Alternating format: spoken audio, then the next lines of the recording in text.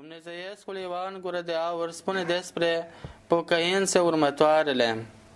Metania, adică pocăința, metania, înseamnă a nu mai repeta aceleași păcate. Căci cel care încearcă să facă așa ceva se aseamănă cu câinele care se întoarce la vărsătura sa. Așadar este necesar să abandonăm atât fapta cât și gândul celor săvârșite cu îndrăzneală. Și în timp ce vă îndepărtați de ele să puneți ca medicamente pe răni cele potrivnice păcatelor. Adică ce vreau să spun? Ai răpit și ai înșelat.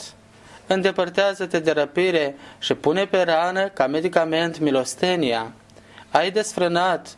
Îndepărtează-te de desfrânare și pune curăția pe rana plină de puroi.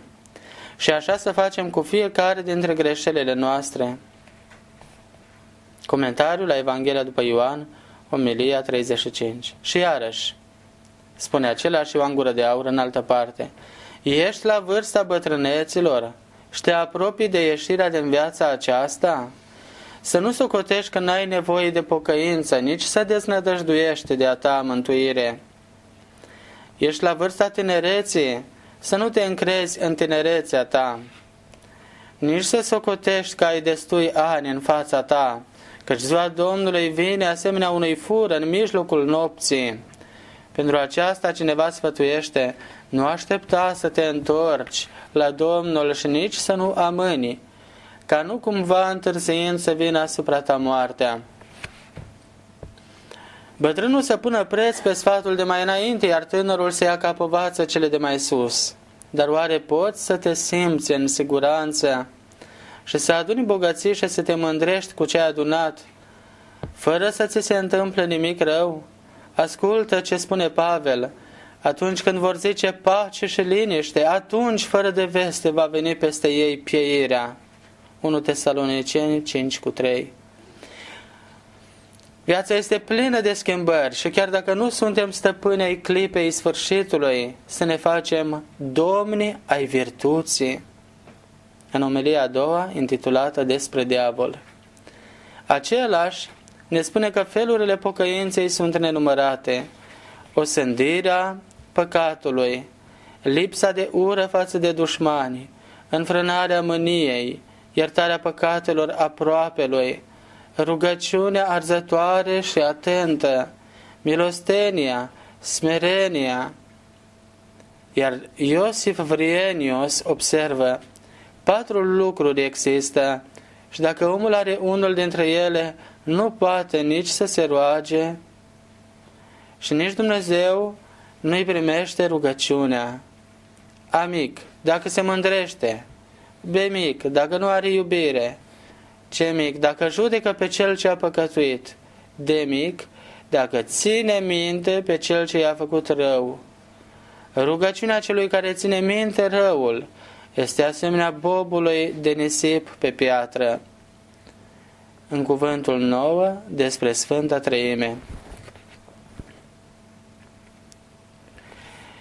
Sub capitolul 21 despre supunerea față de lege. Supunerea față de lege este o virtute foarte mare.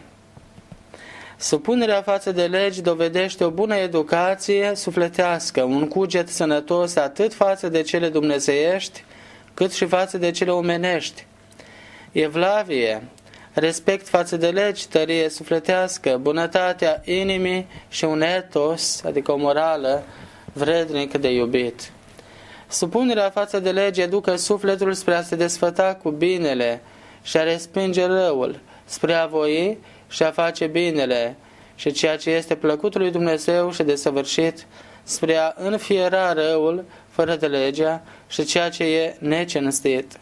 Supunerea față de legi îl povățuiește pe cel care se supune lege să pășească pe calea cea dreaptă care duce la adevărata desfătare și fericire.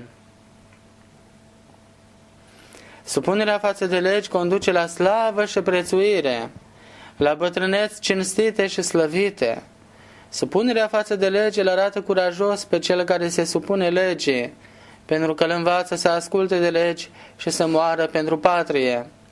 Supunerea față de legi îl face pe cel care respectă legile liber moral și politic, deoarece Evlavia, față de dispozițiile legii, îi întărește etosul, îl arată moral, îi fortifică sufletul și îl vădește a avea un cuget curajos și bărbătesc. Legea lui Dumnezeu, pentru cei care îi se supun, se face pedagog spre dreapta credință. Învață cunoașterea de Dumnezeu, conducând la Stăpânul Hristos pentru a fi educați de El desăvârșit și pentru a dobândi dreptatea dăruită prin credință. Legea îi învață pe cei de sub lege o virtute armonioasă. Cel supus lege păzește poruncile lui Dumnezeu, pentru că supunerea față de lege este o poruncă dumnezeiască. Apostolul Pavel ne învață zicând, tot sufletul să se supună în altelor stăpâniri, căci nu este stăpânire decât de la Dumnezeu. Romani 13 cu 1 cei care nu respectă și încalcă legea sunt oameni plini de tot felul de răutăți, fără evlavie față de Dumnezeu și față de justiție, lucrând nedreptatea, fiind bolnavi cu sufletul, pășind pe căile întunericului, lipsiți de morală, îndrăsneți în vremuri de pace și lași în război. Lipsiți de forță morală, sunt neputincioși să înfrunte pericolele și ajung dezertori. Cei care nu se supun legii zdruncină societatea din temelii și subminează însă și esența statului. Cei nesupuși legilor aduc dezastre asupra patriei înseși.